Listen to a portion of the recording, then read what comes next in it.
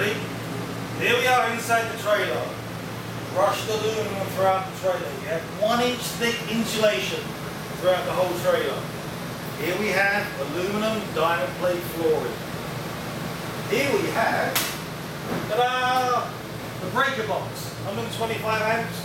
Actually, you have two 50 amp breakers, one inside. Everything's clearly labeled.